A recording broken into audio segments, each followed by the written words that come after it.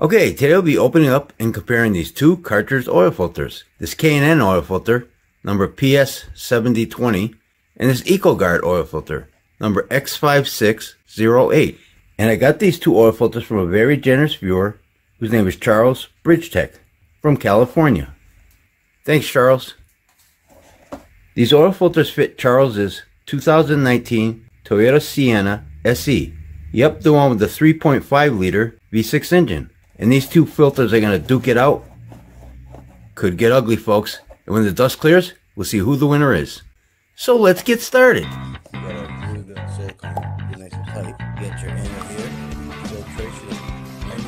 Okay, let's start with the K&N. We'll start with the box. There's not really too much information on this box, but here's some replacement filters. List of replacement filters. And you got a website right here that's pretty much it. I mean, you can freeze this if you want to read all that, but yeah. So let's take a look at the filter. So here we got filter number. I'm guessing this is a day code. It looks like it'd be January 25th, 2015. Made in Korea. And I'm not sure if they still make these oil filters. But um, they might have gone to a, a different version, different numbers on them. But um, here's the plastic. There's no center core in here. You just see the plastic there. Okay. And this filter has 54 pleats. It's a synthetic blend media. And I couldn't find the micron rating on this filter. Yeah.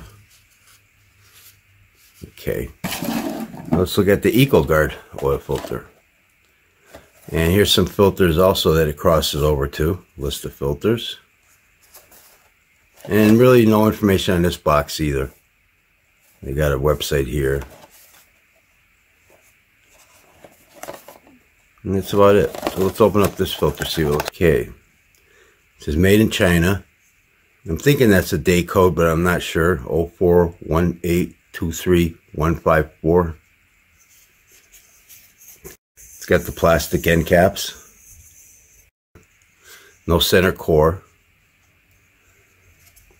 Looks a little bit better than the K&N as it. Pleats, are nicely spaced. Kind of tighter here. It's got a seam right here. And it looks like it's, I don't know, I'll have to see what it lo looks like when it's opened up, but looks like a pretty good seam. Okay, it might be overlapped in there. And this filter, the Ecogard has 47 pleats.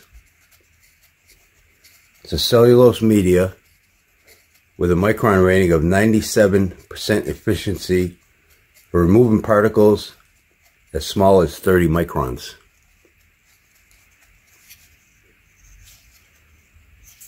All right. Here's both filters.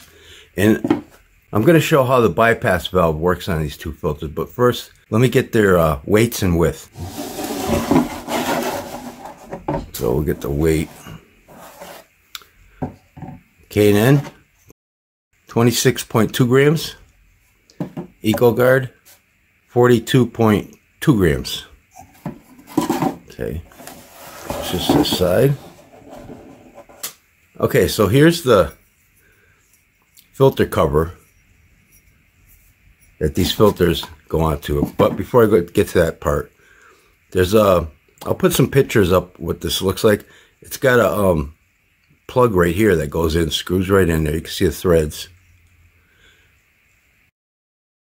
And then when you're going to remove these, there's another plug that you put in here, you know, because the filter mounts this way. And there's a little plastic piece that will go in here and remove all the oil out of it. And I'll, I'll put a video of that up right now. 3 8 inch drive extension to remove the plug from the oil filter housing and insert the plastic tool that came with the new filter. The oil filter is very hard to unscrew and you must have the special wrench to do it. Pull out the filter cartridge and install a new O-ring in the groove. Make sure it's not too far down on the threads. Install the filter housing back in the truck and torque it to 19 foot-pounds. Install a new O-ring on the plug and torque it to 9 foot-pounds. Pour in 6... Okay, so I took that video from a fellow YouTuber who goes by Lab Coat Paul. He fixes scooters, cars, and motorcycles. I'll put a link to his channel down below in the descriptions.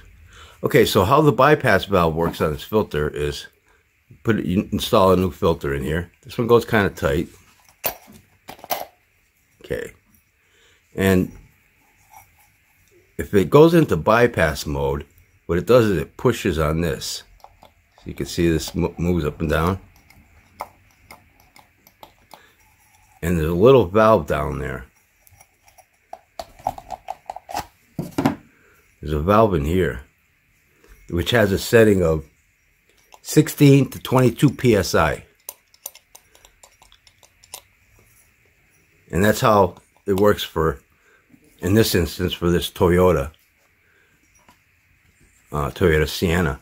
But you know, they're not all like this. Sometimes they just they're just plain caps. But this is like a nice heavy duty part right here. And yeah, it just goes in like that.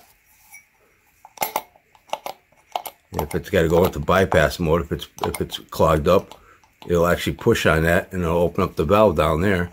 And the oil will come right up here and go into your engine. So that's pretty cool. You know, they got a special tool to put this on with. There's an O-ring that goes right here. No, actually right right here. There's an O-ring that goes in here with a plug. Yeah, pretty cool stuff. All right. Okay, and I almost forgot the width of these filters. Okay, so the K&N 2.57 inches wide. Ecogard 2.36 inches wide. Okay, let me cut these two filters open and stretch them out and see what they look like under a microscope and see what the square inches of filter media there is. Be right back. Okay, so here are both filters all stretched out. And the K&N filter is 73 inches long. The Ecogard filter, 74 inches long.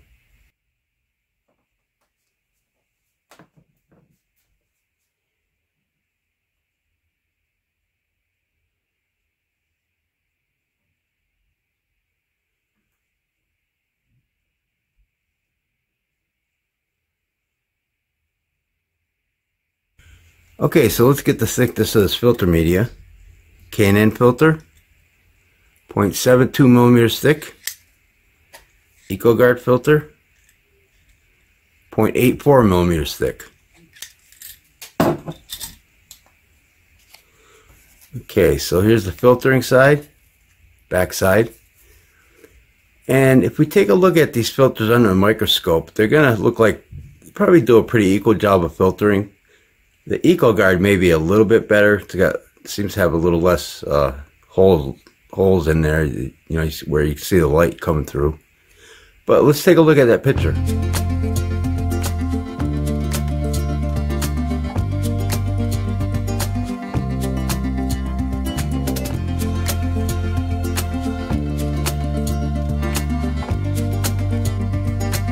So in my opinion, they, they would probably do a pretty equal job of filtering. But you get about 13 square inches or more filter media with the K&N. And like most cartridge oil filters, there's not really much to them. You know, you got the plastic end caps. And that's about it, you know. So what do you guys think about these two filters? And again, I want to thank Charles for sending me these two cartridge oil filters. And I also want to add that Charles has a YouTube channel. It's called Charles BridgTec. He does tests on electronics and flashlights. You might want to check his channel out. I'll put a link to his channel down below in the descriptions. And with that being said, I think I'll wrap this video up. And don't forget Oil Filter Fridays. I try to open up an oil filter every Friday on this YouTube channel. So if so you like this video, please hit that like button. Thanks for watching and take care. I forgot to mention the seam on this Ecogard oil filter. This isn't a regular glued seam. It almost seems like it's, if you look at it, At it up close here. Almost looks like it's all one piece, but it must be like laminated somehow. Yeah, it looks pretty strong.